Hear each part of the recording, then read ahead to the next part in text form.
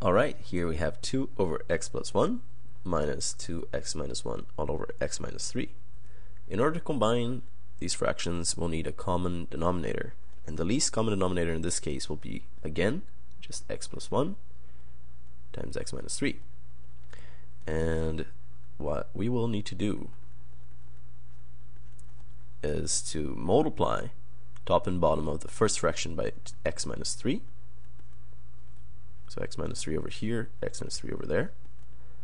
And we will also multiply the top and the bottom of the second fraction by x plus 1. That way we just need to, we have already the common denominator of x plus 1 times x minus 3. At this point, I can just write the denominator down below once and over here, you can just expand everything. So 2 times x is 2x, 2 times negative 3, negative 6. And now note that we're subtracting 2x squared minus 1 and x plus 1. Now, let us FOIL this. So 2x times x, 2x squared. 2x times 1, 2x.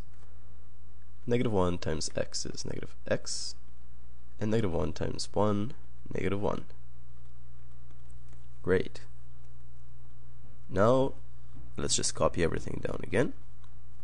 Note that we're subtracting these elements. So what I'll do is that I will expand the negative 1 into all of them. And before we do that though, I know that 2x plus 2x minus x is just x.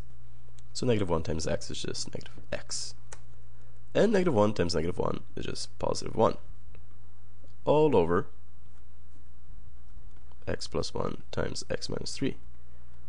I'm definitely running out of room, so I'm going to have to continue up top over here. Wow, that's getting messy. So, negative 2x squared doesn't have any common terms to co be combined with. 2x minus x is just x. Negative 6 plus 1 is just negative 5. And we have the answer all over x plus 1 times x, plus, x minus 3, which will just leave unsimplified, or rather, not expanded, just because most teachers would prefer you to leave it that way. It's yours to see what.